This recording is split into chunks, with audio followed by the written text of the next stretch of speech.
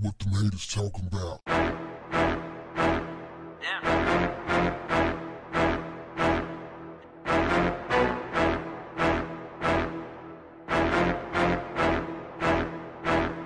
What's up, family? I watched this guy who got pulled over by Washington State Police, and this dude was impossible to listen to. But I listened to him anyway for 34 minutes. This had to be one of the most honorary, disrespectful persons I've ever seen get pulled over by the police when the police was being patient and respectful. Now, off top, I'm not one of the type of people who would immediately just surrender my rights to the police. I'm not that dude. But I'm not a fool either.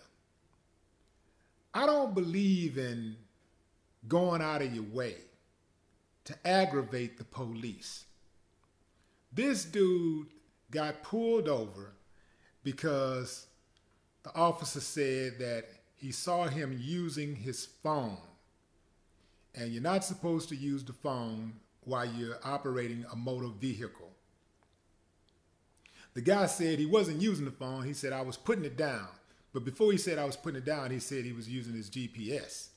Then he said he was using it, he was putting it down. Now, I use my phone for GPS all the time and I'm holding it a lot, which I'm sure most of you also do. The cop said that the law is that you're not supposed to hold the phone. You can use your phone for GPS, but you're not supposed to hold it. This guy said he was putting it down. So that was his first mistake. When he said that he was putting the phone down, it implied that he had been using it. Checkmate. But he went on and on and on. The cop asked him for his identification, driver's license. He wouldn't produce it. He said, I don't have to. I have not committed a crime. And he asked the cops, he said, uh, Am I free to go? Actually, two cops pulled up on him. And, and he was like, Am I free to go? Am I being detained? And they said, Well, you're being stopped. They wouldn't tell him he was being detained. They kept saying, We're being stopped and we're being questioned. Anyway, it just went on and on and on. The guy was, the guy had a chip on his shoulder. He was really, really aggravated.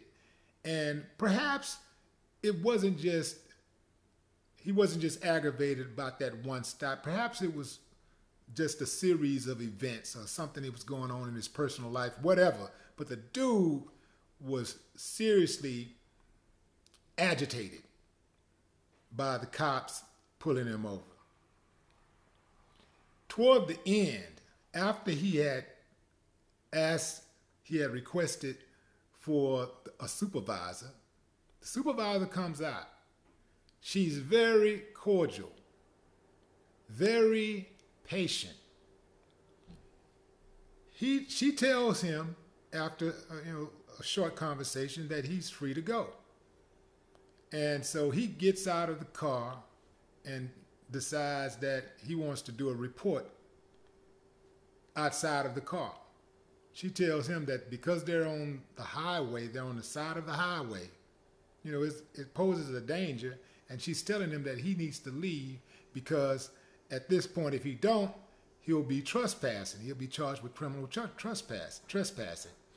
And he's like, well, if I'm free to go, you know, what do you mean I'm free to go? I don't have to get in my car and leave if I'm free to go.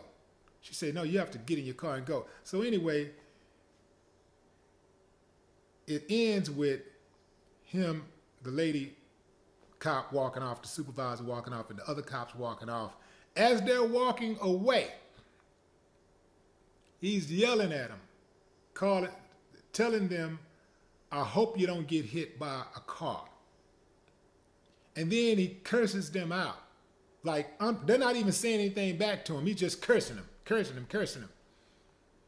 Now, again, family, I'm not one to just immediately surrender my rights to the police. I'm not one to surrender my rights at all to the police. But, and I know that there are a lot of cops out there who are a-holes. There's a lot of them. This dude really should be glad that he did not encounter that one because he would have had a totally different experience had he encountered one of those cops who got that chip on his shoulder, who was a Johnny Badass, you know, Billy Badass, and he thinks that he can do anything, stretch his authority whenever he feels like it. If you tell him no, if you're slow to comply, he sees that as a direct threat. And he will violate your rights.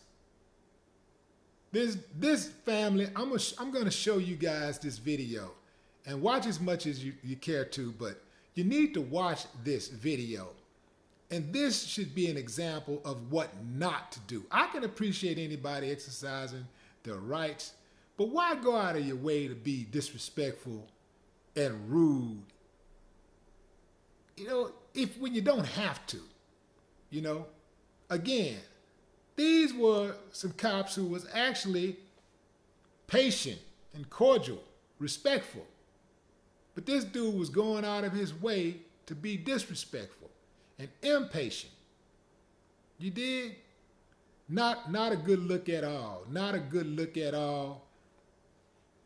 I kept thinking to myself, if police brutality, like unwarranted police brutality, could ever occur, it'll probably happen in this type of situation.